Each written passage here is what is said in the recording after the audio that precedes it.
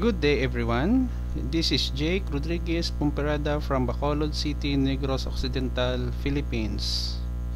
In this tutorial video, we will learn how to write a C++ program that will ask the user to give two numbers and then our program will compute for the product of two numbers. Before we start, if you like this video tutorial, please click the like button leave a comment in the comment section of this video tutorial and subscribe to my channel for more upcoming video tutorials. So let's get started. Right now we are already here in our dev C++ integrated development environment. So I will write a comment. Let's say for example product.cpp this this will be the file name and then the file name of our C++ program. Next the author myself. Jake Rodriguez Pomperada.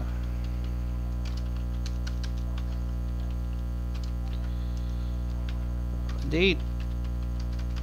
Today is October 8 2019 8.09 p.m. Tuesday. And then website. I have a, my, my personal website. Http jakerpomperada.com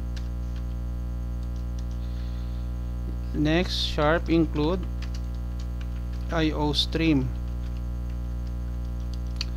Now this library file we use this library file sharp include IO stream for input output commands in C++ what are the example of input output command in C++ we have the console out for display and console in for input. Next. Using name space std for standard and main open and close parentheses. Begin curly braces and close curly braces. So this is the function in every C++ program that our compiler execute every time that we run our program. Next we will declare a variable and a equals 0 b equals 0 and then we have the third variable that is product equals 0 that will act as assignment statement in our program. Next console out. New line backslash new line. Escape sequence characters to backslash new line. After we are through console out. A single a double quotation backslash t. Product of two numbers in C++ double quotation.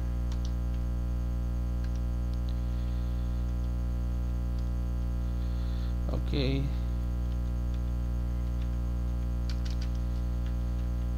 Next. Console out. New line. And then here we'll ask the user give two numbers. Colon semicolon. Console in right shift. Operator A right shift. Operator B. After we are through with the input we will be using the assignment statement. In this case we will using the variable product to hold the value of A and B.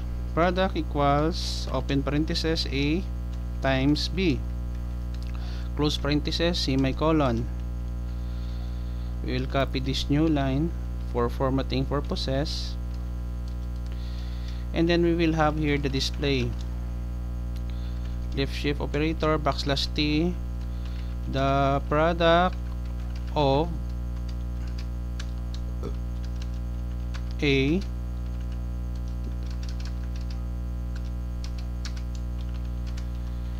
and B is next line. Uh, B is product. Double quotation period semicolon.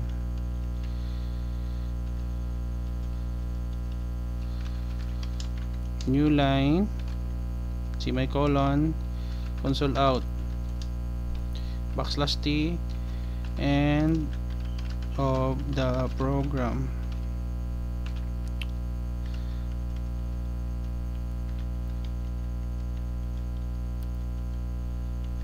Okay the next step that we will do is to save our work.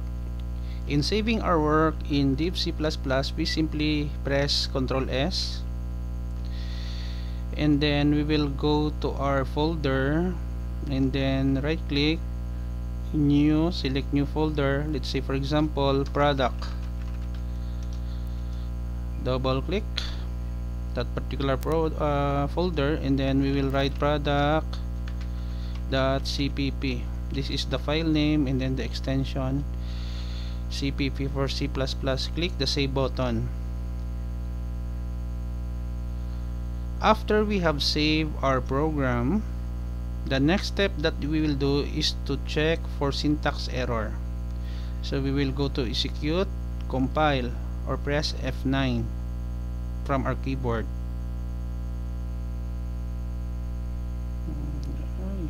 Okay.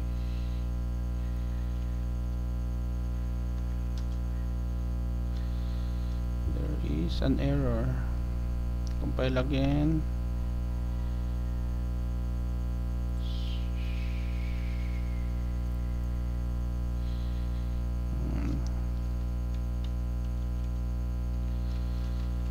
okay compile again. Where is it? Hmm I'm gonna find the error. The product console out. Expected.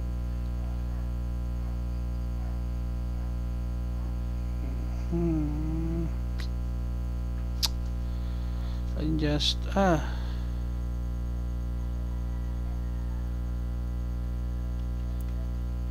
Okay duplicate. Save.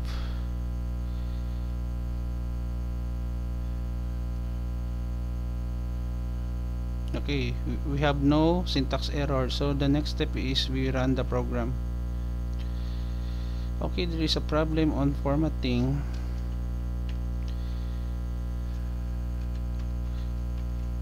compile and run. Okay so 5 and 3 we are expecting 15 the product of 5 and 3 is 15 okay so we have already the right result we save again. We will run again the program.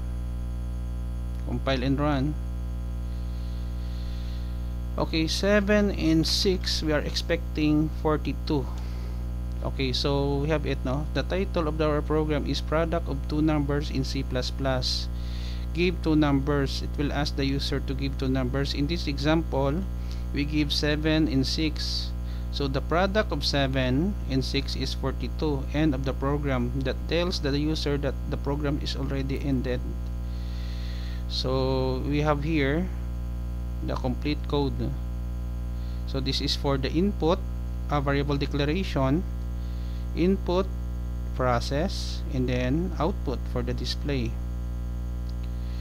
So I hope that you have learned something new in our video tutorials how to create a program that will compute the product of two given numbers by our user.